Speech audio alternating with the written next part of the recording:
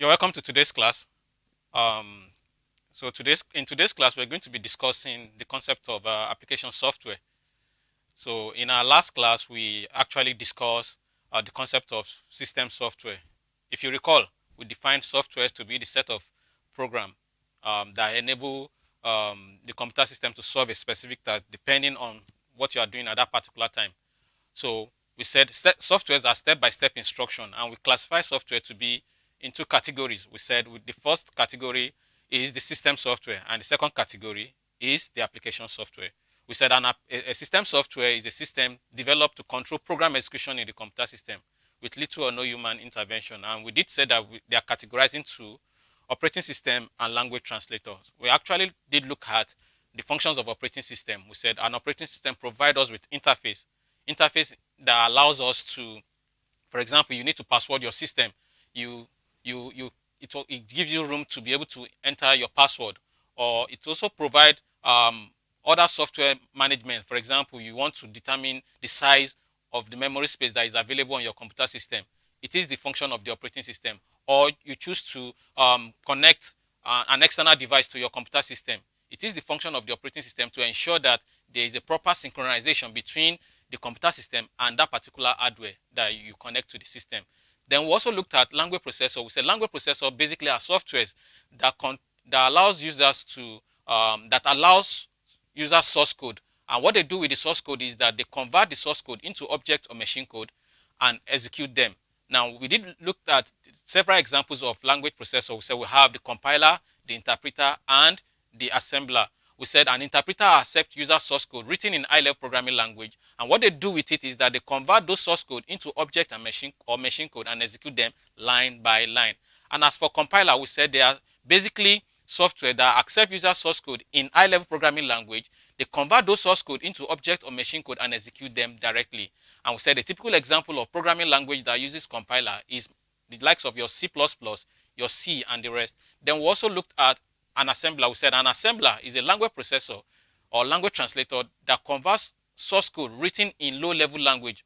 To be more specific, assembly language. So what they do is that they convert this language into object code and execute them directly. So these are some of the things we discussed in our last class. So in today's class, we're going to look at what an application system, or what is an application software, what do they do, what are their functions, and we're also going to look at the various categories of application software. So our content for discussion today is going to be the definition of application software, uh, classification of application software. So at the end of the class, we expect you to be able to define what an application software is. You should be able also to describe the types of application software and list several examples of application software. So we said an application software is a type of computer program that performs specific personal, education, and business function. So it simply means that depending on what you want to do at a particular point in time, there's always a software to help you to solve that particular problem. For example, if I need to send my a memo, maybe to um, my colleague, or I need to send a letter to my HOD, definitely I'm going to use an application software that will provide me with such features and such functionalities. Or I need to compute my student result at the end of the semester will, there is need for me to use an application software that give me the room to be able to manipulate those uh, data sets as, that I have, the student's continuous assessment, the, the student final exam score, and also be able to determine the student class of grade. So these are all application software. As I'm speaking to you, the, uh, the software I'm actually using to even make presentation to you in this particular class is an application software too because it doesn't make any sense for me to give you um, the, the, the, my presentation they are all jumbled up in form of text. But because I need to present them to you, so a, a particular application software is there for us that allows us to make better presentation and it's for better understanding of the uh, for students to be able to have total grips of the content. And that's why we also use an application software. Or for example i need to keep your record maybe from your year one to your fifth year. An application software is readily available to be able to do that for us. I want to know what you score in your last exam. I want to know what your grade is maybe in three or in, in, in, in maybe in your last final exam, all I need to do is just to query a particular application software and it will be able to display it for me. And those are some of the things that we use application software for. So each program is designed to assist the users with particular process which may be related to productivity, creativity, and communication. So this is what application software does. So in a nutshell, an application program or an application software is a software that enables the computer user to solve a specific problem. So we said application software is a program or package that enable computer user to perform specific uh, tasks. Now, so having defined what application software is, there's need for us to also look at what the functions of this application software. So what are the functions of application software? We said application software program create uh, uh, are created to facilitate uh, a variety of functions, including but not limited to the ones I'm going to um, explain. So managing information. So you need to manage your record. You need to manage your information over time. There's all you need to do is to make use of an application software. For example, you go to the university portal. Let's assume maybe somewhere, sometimes in, in the nearest future, when you're in your five, in your fifth year, and you maybe you apply for a particular uh, scholarship program, and as part of the prerequisite for your qualification of that particular scholarship, they require that you print out your transcript from your year one to that current year. All you need to do is to use an application software that will give you that provision, that will give you that opportunity to be able to retrieve all your information with regard the course you are uh, studying at, at, this particular point in time. So they are used to manage information. manipulating data, if I, for example, if it is that same um, um, transcript, oh, I want to see the number of courses you've, you've had A in the past, or I want to see the number of courses you, your final um, computation score is around 90 and above. All I need to do is to use an application software that will be able to allow me manipulate the existing data. Then constructing visuals. So I want to know, oh, what is my expenses? What has my expenses been over uh, as what are my expenses? I want to know, oh, how are my daily expenses? Or I want to know what my monthly expenses are. Then I can actually represent this data in form of visuals, in form of charts, in form of um, um, different chart. It can be a pie chart, it can be um, an histogram and the rest. So it allows for constructing visuals. So, and that's what an application software can also do handy for us. Coordinating resources. An application software allow for coordination of resources. For example, um, maybe I'm into production. I want to, um, I know I need XYZ amount of um, raw material. I need XYZ amount of um, uh, maybe gas to, to fuel, uh, to power my machine. I need XYZ amount of staff. So an application software called enterprise resource management can actually manage or coordinate all these resources that are required in our production line. Then calculating figures. Yes, application software allow you to do some calculation. For example, you want to know, you want to compute an, an organization payroll. You want to know what the monthly earnings of some employee in a specific organizations are. For you to compute their um, monthly earnings, which is the net pay that gets into their bank account. It simply means that you need the gross pay, you need some allowances, you need to know the, the, um, the amount of percentage that is allocated to each of these allowances. So an application software readily uh, is readily available that will be able to solve this particular problem and, and more. So now what are the categories of application software? So the first category, there are a lot of categories depending on your domain. So we say application software can be categorized based on usage and domain uh, of application. So the first category is what we call the word processing, allows us to be able to manipulate text. The second category is electronic spreadsheet that allows us to be able to manipulate figures in form of rows and column. Then we have the presentation software. It allows me, as, I, as I'm speaking to you, to be able to present uh, the lecture note to you, and that's what the presentation software uh, gives us. Then you have the graphics. The graphic software allows you to be able to visualize image it allows you to be able to have better representation of image. And that's what graphic software does for us. Then we have database management. Database management allows us to be able to keep records over time. Then we'll have web browser that gives you the room to be able to access the internet, to be able to access resources on internet. For example, you want to check your um, semester result. So, and the university uh, policy is that all students are expected to check their semester result using the online platform. So all you need to do is to have a browser or a web browser installed on your either on your smartphone or on your computer system. That browser will give you the ability to be able to access the internet. So as long as you have internet connection on your system. Then you have enterprise software. Enterprise software allows us to be able to manage resources, manage individuals, manage tasks in general. And that's what this enterprise software does for us.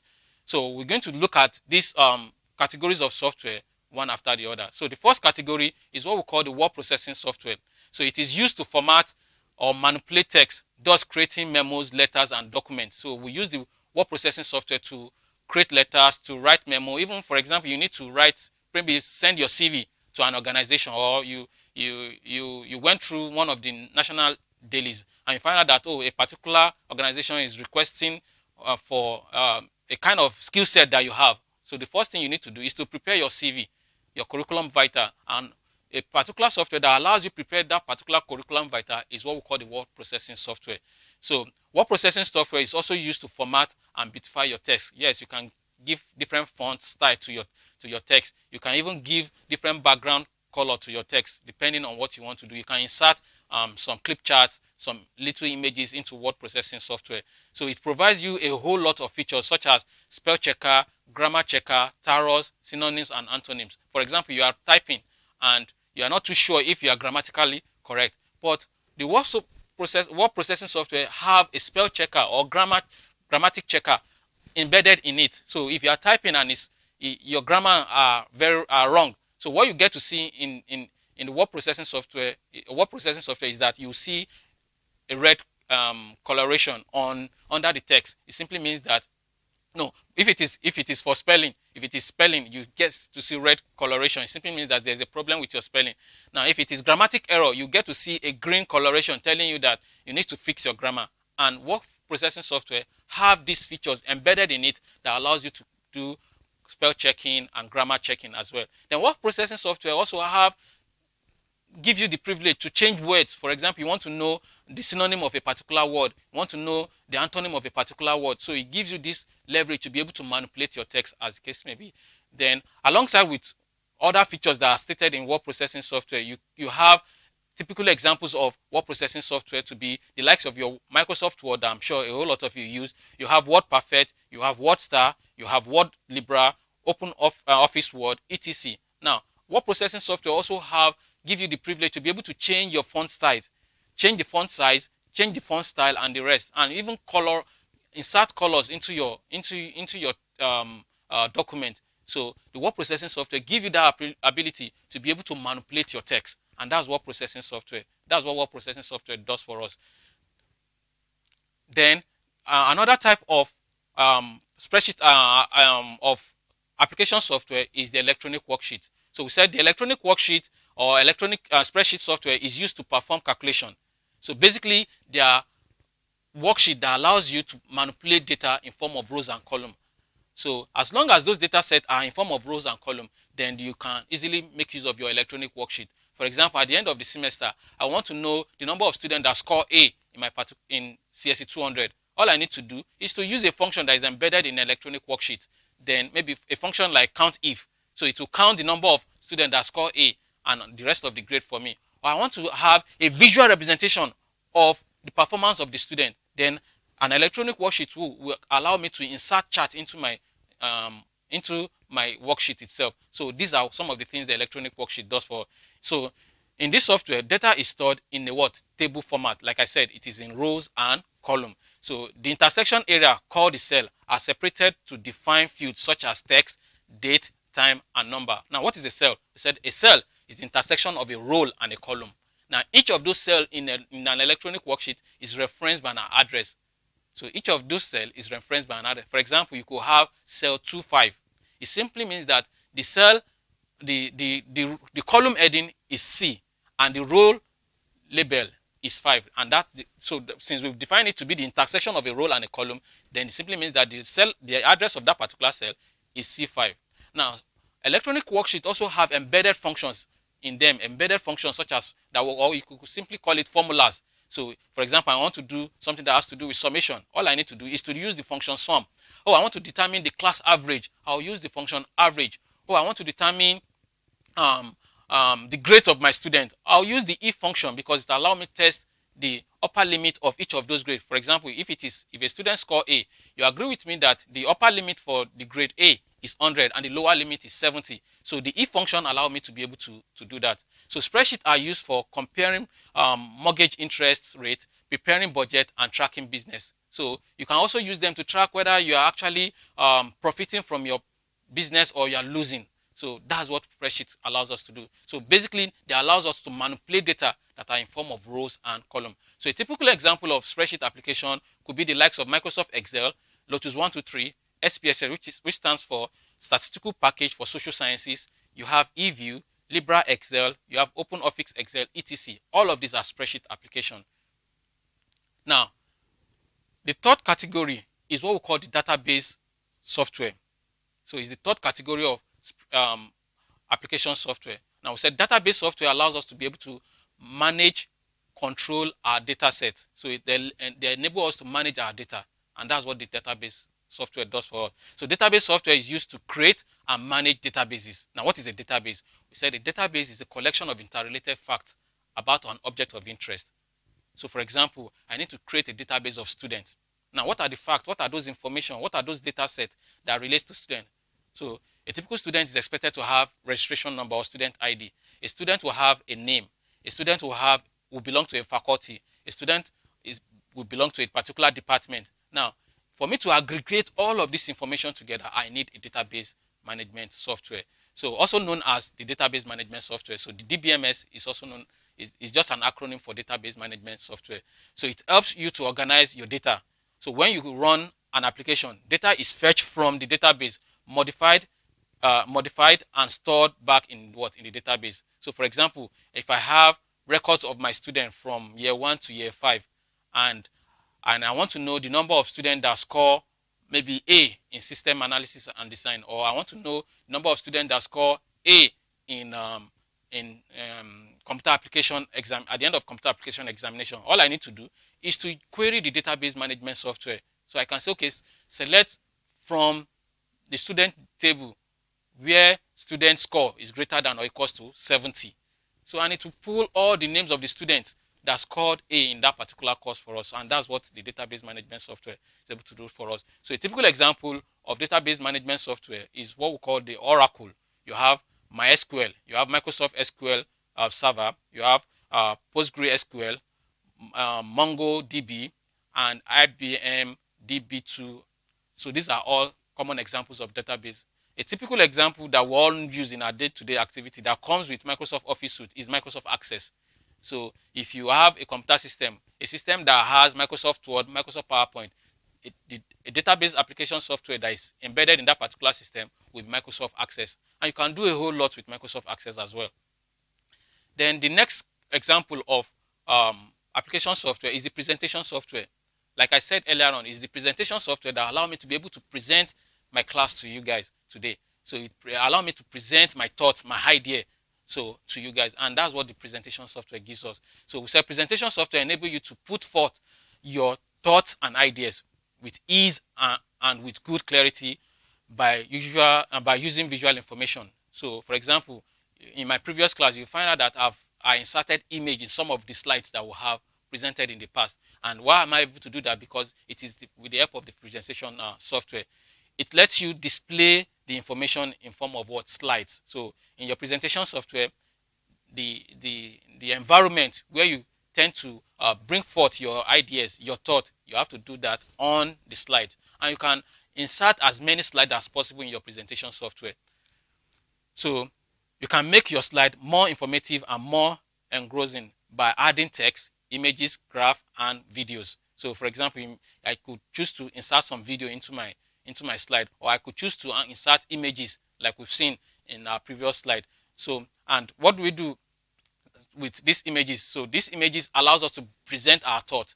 For example, if I am discussing something that has to do with statistics, so it will be better off I have image that will come in form of a chart, in form of a graph. So, and that's also you can insert graph, uh, graphics, you can insert text, you can insert video and multimedia. So slideshow to display the information. So at the end, at the point of your presentation, since if you are able to come up with your slide, now to present it to your audience, then you need the slideshow functionalities as it is showing to you as we speak. So all this information I'm um, putting forth to you guys is based on the fact that I've represented my thought on a slide, on a slide and I'm presenting it in form of a slideshow.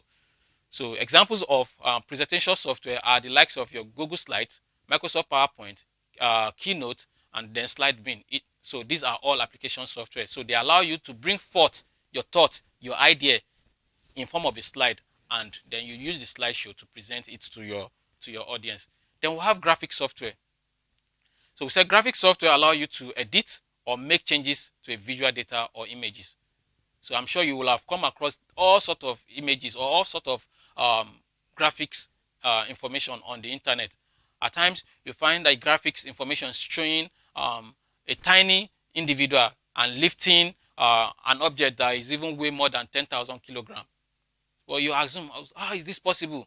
But all is just graphics. All is just image manipulation. And that's what graphics does for us. It comprises illustration and picture editor software. So in a graphic software, you have the illustration component and the picture editor component as well. With graphic software, visual information is more what compelling. Yes, you see they are more compelling. They they are appealing to you because you get to see everything in details, and that's what graphic software does for us. So graphic software help in um, comparing data, sports trend, and make decision. So if, if if certain information, if you have a text, maybe the text might be a number-based text, and and you need to represent them or to for it to be meaningful for it to be presentable to, to your audience, it's better you use a graphic software. So, and the graphic software will bring them to you in form of um, charts, in form of views, and the rest. And that's what graphic software does for us. So, they allows us to be able to present our information in a more compelling uh, way.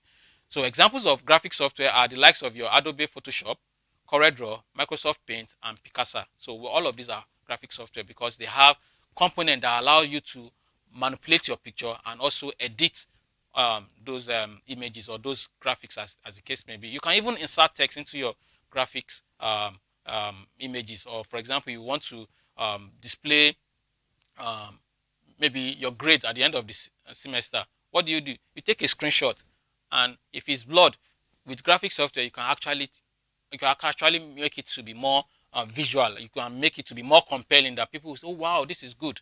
So for example, you snap a picture of yourself and you can use graphic software to to insert a new background to it and looks as if maybe you are in um, you are in a beach or you are in front of CBN but but you actually snap that picture in at the comfort zone of at your own comfort zone maybe somewhere in your room so but with graphic software we can do all of this manipulation then we have the web browser like I said earlier on I said the web browser give us a gateway to the internet so they allows us to be able to access information or resources that are on the internet. So these software applications are used to browse the internet. So the, the software enables computer users to locate and retrieve data across the web. So they, they allows us to be able to retrieve information from all sorts of websites that are readily available. That allows us to be able to uh, even upload our images. So a typical example could be the likes for you to be able to access uh, your Facebook account. So you need a web browser. For you to be able to check your Gmail account, you need a web browser. For you to even be able to check your result at the end of the semester, you need a web browser to be able to access those resources that are uh, uh, available on the internet. So a typical example of web browser are the likes of your Google Chrome, Internet Explorer, Firefox, Microsoft Edge, Safari, and Opera. So all of these are web browser because they give us that privilege, that leverage to be able to access the internet. And, and when we get to the internet, we'll be able to access the resources that are readily available on the internet. Then we have the enterprise software. So like I said earlier on from, from my introduction, I said an enterprise software allows us to be able to manage resources, manage personnel, manage tasks as the case may be. So, and that's what they do for us. So we said enterprise software is a term used to describe application and technologies that companies use in order to support their operational and strategic initiative by focusing on all organization rather than single user. So companies use this enterprise software to manage their employee, to manage their raw material, to manage their resources, to even manage tax. If, it's, if a company is embarking on a project, you need an enterprise software to be able to manage those project tasks, schedule uh, activities, schedule tasks for individuals. So, or come up with a Gantt chart that, that shows the activities and as well as the days of delivery and the resources that will be required to, uh, to deliver on that particular task. So, and that's what enterprise software does for us. So we said enterprise software help companies store, manage, and use data regarding their daily, daily and regular processes. So if it is on a if it's on a production line, you need an enterprise software to manage all your production. So soft, uh, the software keeps track of a wealth of information, including payroll, uh, raw materials, business commitment, purchase order, and capacity for what production. So it manages every resources that are required for you to deliver the best to, to your customer. So examples of um, enterprise software could be the um, for customer you have customer resource management. For example, those in telecom, they need the CRM to actually know what their perception, the perception of their customer, to based on the kind of service they provide.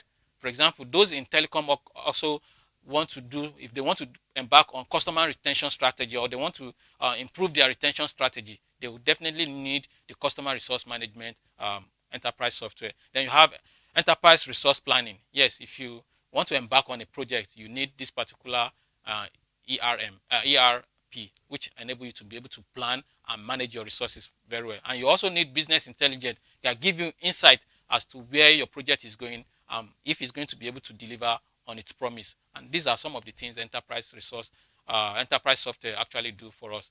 Okay, so that marks the end of our, our class. But before we go, let's take some of our, um, we'll do the usual way to evaluate uh, our discussion. So, so the first question is, the software design uh, designed to perform a specific task is known as what? So the first option is synchronous software, uh, package software, application software, and system software. From our definition, we say system application software are software that are designed or developed to enable computer user to perform specific tasks. So I'm sure your guess is as good as mine. So uh, the response to this particular uh, question it will be what application software. Now the software that has the ability to manipulate data stored in rows and column is known as we said it is an electronic spreadsheet.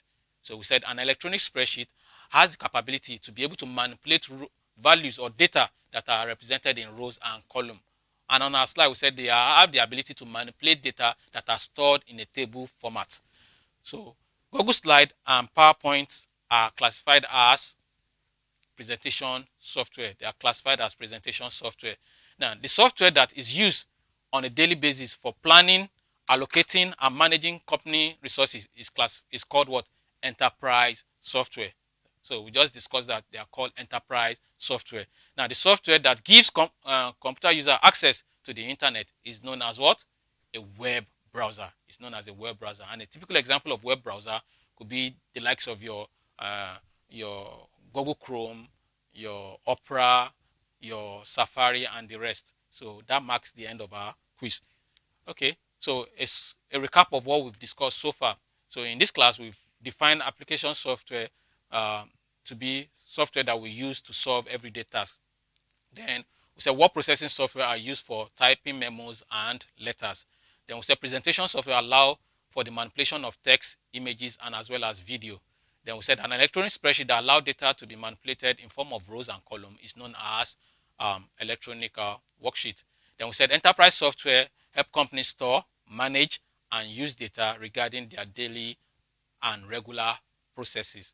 So all of these and more are what we've discussed so far. Saying with with graphic software, uh, with graphic software, visual information are more what compelling. Graphic software uh, like Adobe, um, Adobe Photoshop, CorelDRAW. So the visual representation of your image are more compelling. They make them more attractive to users.